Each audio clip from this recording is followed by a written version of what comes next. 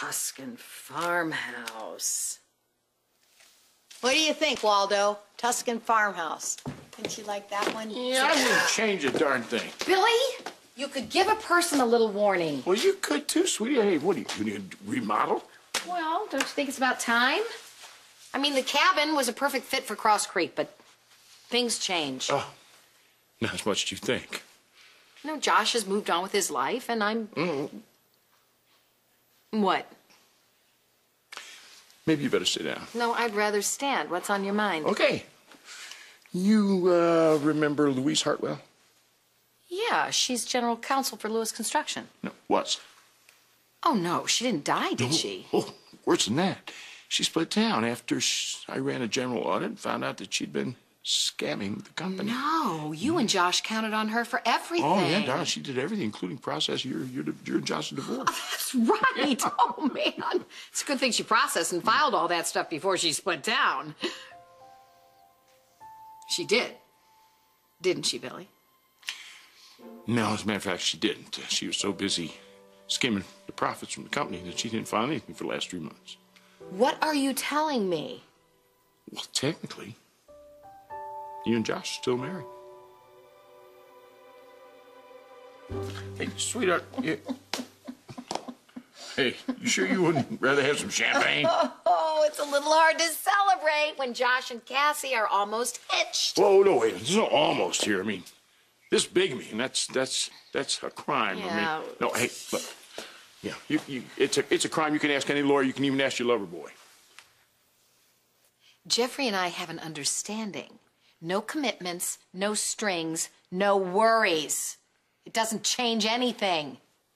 Or it changes everything once you tell Josh. I'm not gonna. I can't, I can't tell Josh. He's on a religious retreat. What am I supposed to go up there or over there or under there, wherever he is, and interrupt his meditations? Oh, you you just, when he goes back all washed in the lamb, then You know right what? between it's you. just a technicality. A, a technicality. We'll find somebody else to file the papers, and then Josh can get on with his marriage to Cassie, and I can get on to remodeling my lawyer. Yeah, I mean my house. So, So I think I've been sleeping with a married woman. first for you, huh? Question is, what are you going to do with it?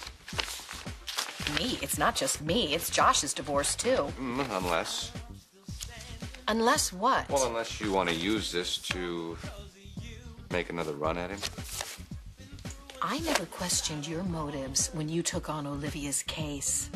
I, that was completely professional, Reva. I ah. mean, they were about to arrest the woman in front of her little No, girl. no, no, no, no, no, no, no, no. You just like looking like the hero. I know that. Meanwhile, she's trying to turn me into roadkill. I know what this is. You're trying to pick a fight with me so you can justify going running to Josh and tell him that you're still married. That's it. You think you know everything, don't you, O'Neill? Well, in this case, you couldn't be more wrong. Joshua, it's me again, leaving the same message I've left five times already. It's important. Please call.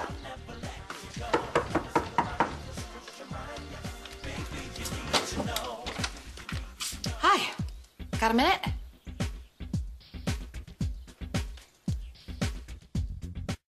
Um, how did you find me here? Uh, I called the house and, um, what's her name? Uh, she told me that you were here. Oh, yeah. Well, um, Harley and I were just. Yeah, yeah, I know. This will only take a minute, but can we maybe go inside in case there's lightning? Harley? she, uh, She's actually not here. Uh, she just stepped out for a minute to return something. oh, early Christmas. It's a little early, isn't it? Actually, it was a wedding gift. oh, for you? Yeah, she uh, she got us this really beautiful tablecloth, and the napkins were the wrong ones, and so you know, you know Harley. Yeah, well, I don't blame her for charging back to the store when a job doesn't get done right the first time. Yeah, we've uh, all been there. Yeah, definitely. So is that why you're here? Huh? Unfinished business. Uh, as a matter of fact, um, I wanted to apologize for uh, the accident. Come on, Reva. It's not like It's not like you threw yourself in front of Olivia's car. I know, I thought that for two minutes, Yeah, but well, I, I wouldn't blame you. I mean, one minute you think you're married, and then the next, and vice versa. excuse me? Life comes at you so fast, like Olivia's car. But it looks like you're not letting it stop you from. And give up all the great presents? Yeah, yeah. So when are you and Josh planning the sequel? Um, we're not. I mean, at least we're not rushing into throwing another ceremony or anything. We just, you know, Josh and I are married in every way that counts. And paper's just paper. Depends on the paper. So I don't want you to feel guilty about interrupting the ceremony because when Josh comes back, we'll make it legal. Sure. So how's he doing anyway up there? Over there or around there? I mean, where is he? Michigan? If you want to know where he is, just ask me. Yeah, well, I just wanted to send him uh, an email to let him know that I was sorry the way the wedding wedding. It's not ended. necessary. It's not necessary. And it's not even possible. The retreat is on Lake Covington. It's in the middle of nowhere. They have no phones, no internet, and not even cell phones. So that explains it. Explains. Why they call it that, a uh, retreat, because it's so far away from the real world and its complications. Actually, I'm doing I'm doing okay with the real world right now. Cassie, Yeah. I hope that you uh, find the napkins that match your tablecloth. I really do. But I, I uh, need to go. Appointment.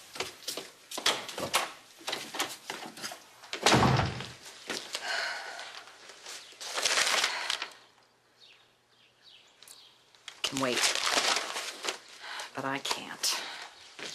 We never lock our doors. Oh, wow. I admire your faith. Not that. There's nothing worth stealing. Yeah, I'll remember that. Thank you. Reverend. No collar on me. Just plain Deacon Jones. Oh, Deacon Jones. I like that. Well, um, I'll just wait here then for Josh. I'm sorry, but like I tried to Oh, tell I know, you. no that visitors, but I thought maybe you might make an exception for his wife. His wife would. Oh, he didn't tell you about me. Well, no, he never mentioned. Oh, well, that sounds just like my Joshua. You know, he can bring down the walls of Jericho, but he can't remember whether or not he's wearing brown socks or blue. My wife would say I'm the same. What are your lay interests? uh, beg your pardon? Well, as a member of your husband's first church, do you have any special calling? Yes, absolutely. Such as? such as uh, orphans and soup kitchens and the orphans i want to train to, to run the soup kitchens put those little hands to work How young are these orphans we're talking about? Ah. You know i would love to, to go over my plans with you but i am feeling such a need and a desire to meditate and get in touch with my uh, inner spark That's why we're here. Yeah. I'll tell Joshua you're waiting. Uh, no, don't. I uh, w- I want to surprise him. Thank you, Mr. Jones.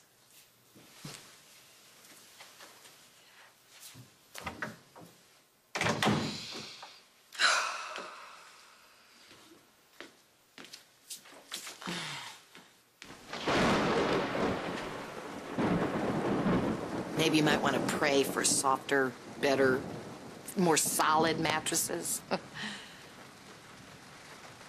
God,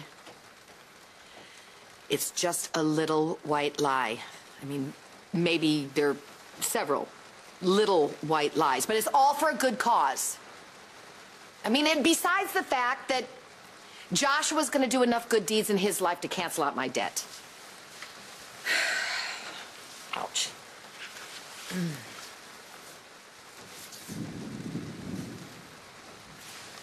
You know something? You may not believe this, but I did not try to stop your marriage.